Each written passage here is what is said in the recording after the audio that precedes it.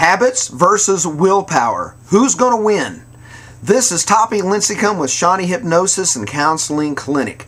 In this corner, your habit mind. It's small, it's quick, it's fast. It floats like a butterfly and it stings like a bee. Your habit mind works faster than Muhammad Ali. There's only two things that it's thinking about immediate gratification and effort. What can you get? Where can you get? How can you get the most immediate gratification for the least amount of effort? And it works faster than a snap.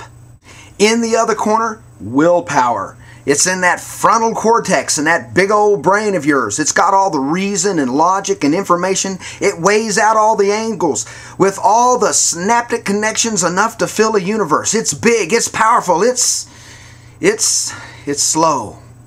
It's real slow and it's got the boxing style of say Floyd Patterson or George Foreman. It just stands there in the middle of the ring, flat-footed, throwing haymakers that never land. Wow wah. Left to their own devices, if there's a fight between habit mind and willpower, habit mind's going to win every time. To add insult to injury, your habit is like riding a bicycle. Yeah, remember when you was a kid and you learned to ride a bicycle?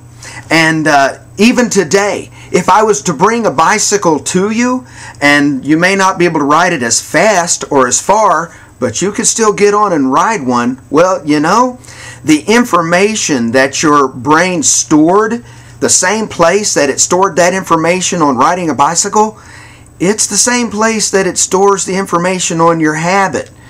What I'm trying to say here is that you can't unlearn a habit. It's in there, just like riding a bicycle. And, well, barring some kind of freak brain damage, and I, I don't recommend that. I mean, a lobotomy, trust me, it's not the option you want to take. Let's go back, though, to the old days when you were riding a bicycle. Remember those days if you rode one when you was a kid? You probably rode it everywhere you went. You probably rode it every day. How come you don't do that now?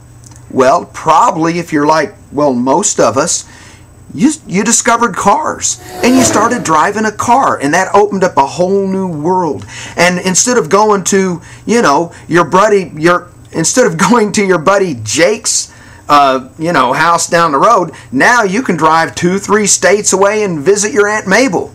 Or well at least maybe you should visit aunt mabel. When's the last time you saw aunt mabel?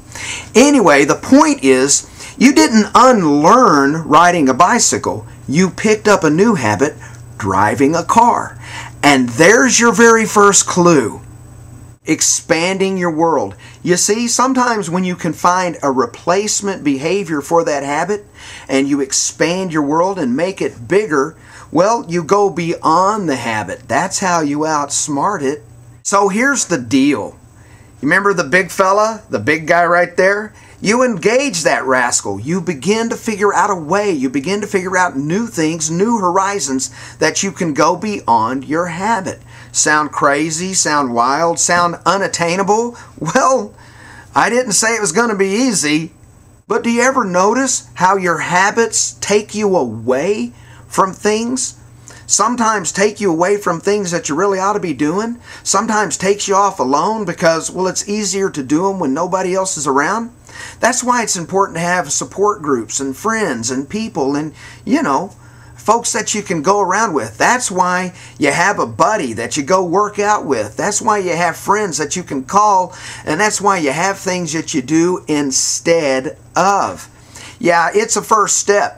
Now, I realize there's some habits out there that are just pretty doggone hard to shake. And, well, that's times when you need to find a good, competent counselor who can help you through some of those things. Sometimes you need new new insights. Sometimes you need a different strategy. Sometimes counseling, in fact, you'd be surprised, and I've heard said it before, You'd be surprised how far just one or two sessions will really go. Sometimes you just need hypnosis that's going to kickstart that new horizon that you want to go after.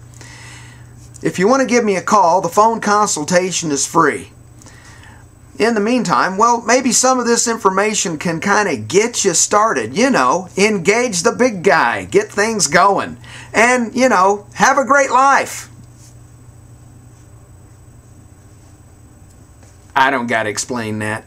You know what I'm saying.